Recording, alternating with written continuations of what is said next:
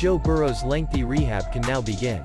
The Bengals announced the rookie quarterback underwent successful surgery Wednesday, 10 days after tearing the ACL and MCL in his left knee. Joe Burrow underwent successful surgery yesterday, the team said in a statement. The procedure went as planned and he is expected to make a complete recovery.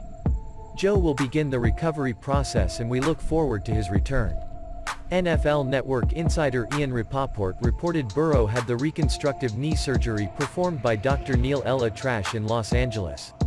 The quick turnaround improves his chances of being on the field for the start of the 2021 campaign.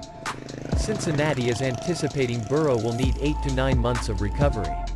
The season-ending injury cut short what was shaping up to be an excellent first year for the number 1 draft pick. In 10 games, he completed 65.3% of his passes and averaged 268.8 yards passing while tossing 13 touchdowns and just 5 interceptions. Burrow's absence likely seals another top 5 selection for the Bengals 2-8-1, whose needs remain abundant throughout the roster. The crestfallen franchise just won't be in the market for a starting quarterback.